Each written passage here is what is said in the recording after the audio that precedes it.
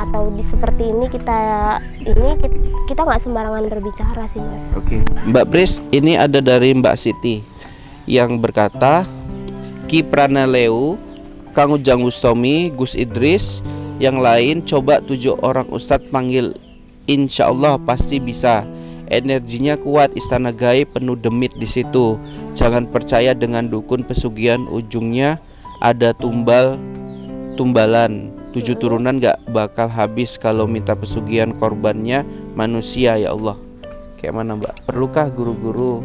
guru Eh. besar kok dibilangnya mas Iya ya. salah satunya Ki Pranaleyu sosok itu sosok guru sih mas bagi saya gitu Iya.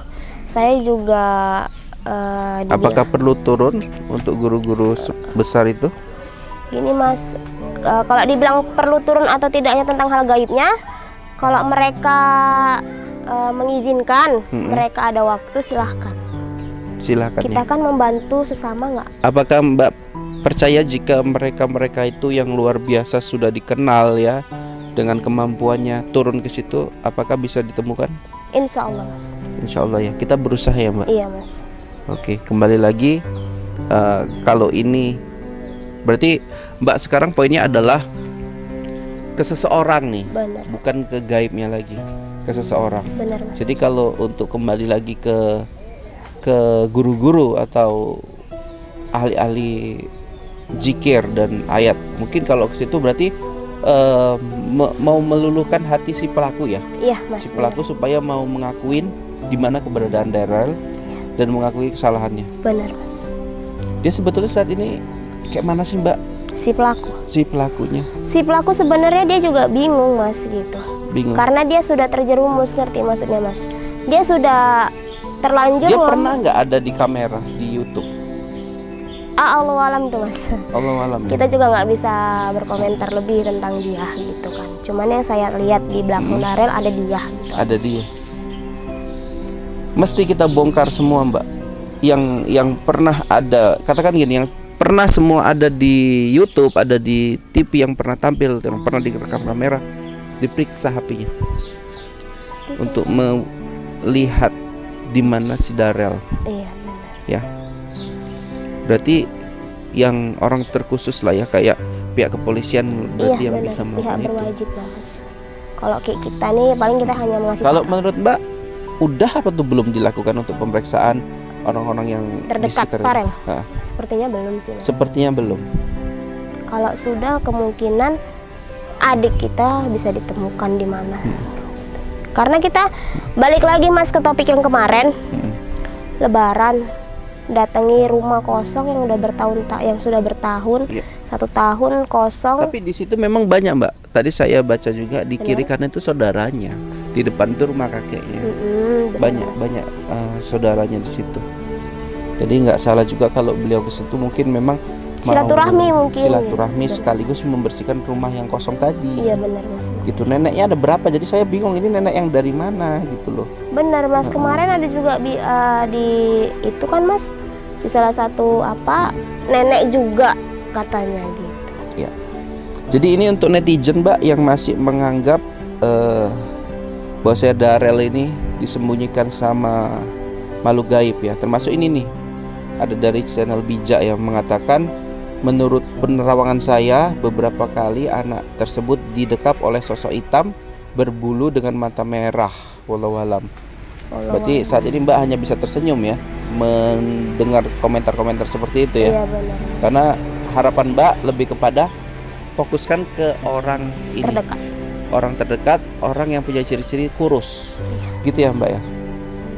Jika terus-terusan masalah gaib mungkin nggak selesai-selesai ya, nggak Mbak selesai ya. mas Nggak nggak selesai. ada Ya? ujungnya sih mas Mm-mm. karena gaib itu dikorek seperti apa pun itu nggak ada ujungnya mas Tapi kalau saya minta sama Mbak Priska, Priska ya sekali eh, melalui kegaiban meluluhkan hati si pelaku untuk mengakui, kan nggak salah juga, Mbak. nggak salah sih mas saya minta supaya eh, teman-teman yang punya kemampuan ya di rumah untuk membuat si pelaku tadi pelaku ini untuk mengakui gitu.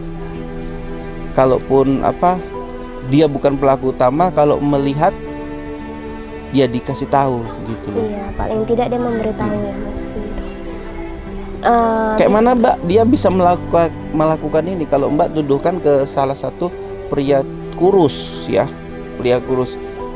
Kok bisa serapi ini? gitu. Sampai warga juga nggak ada yang tahu gitu. kita nggak mungkin mas udah dirancang dirancang dari rumah Mm-mm. untuk dibawa kemari kita juga nggak tahu ya Agak Mas. jauh ya anak itu kemudian karena lokasinya itu di, di perkampungan yang Benar. mungkin warga itu jarang ya.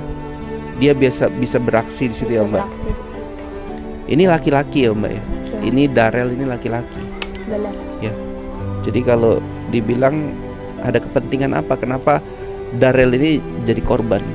Itu masih tanda tanya besar ya tanda Mbak. ya? tanya sih mas saya juga belum Hmm. mencahkan itu sih mas Belum Cuman- dapat gambarannya. Mbak. belum cuman saya dapat gambarannya tadi malam dari mimpi hanya sosok pria itu aja sih mas Pria itu aja ya. Jadi kalau di masih banyak ini ya. Kalau Mbak ini ya tegas ini ya. Masih ada paranormal yang di YouTube yang di apa menyampaikan ini ad- masih disembunyikan makhluk halus. Masih ulahnya makhluk halus. Gimana Mbak? kalau saya bilang ini kedok dari pria tersebut Kedok ya. Ini paranormal lain yang ngomong Mbak. Enggak itu ya. saya kalau saya pendapat saya ya mas Heeh. cuman pendapat orang kan beda mas ya Kita hargain lah ya iya pendapat mereka ya. pendapat Cuman saya kalau ujung-ujungnya di masalah kegaibkan gitu, kayak pintu nggak ada, nggak tahu kita itu ruangan apa, iya benar mas ya kan? benar Gaib Ada. itu kan ambigu. Ibaratnya gini ya, gaib itu sesuatu yang ambigu. Kenapa? Eh, misalkan kita bilang eh, itu jalan ke mana, saya nggak tahu. benar Itu kan sama dengan ini hilang ke mana, diambil makhluk gaib, kita nggak tahu. nggak tahu Hmm, gitu tahu loh. mas gini di depan kita ada makhluk gaib juga kita nggak tahu mas. Ma- karena memang mereka nyata bagi seorang indigo.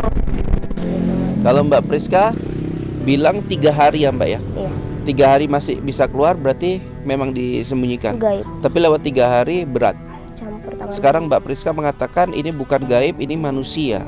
Benar mas. Ya walau alam kondisinya beliau itu gimana? Ya pasti orang terdekat harus diperdalam benar. harus dikorek. Benar. Gitu ya Mbak ya. Kalau ini Mbak mau berpesan sama siapa nih? Sebelum kita tutup mau keluar ke keluarganya orang tua atau saudara-saudara terdekat atau siapa? Mbak mau percaya yang mana ini?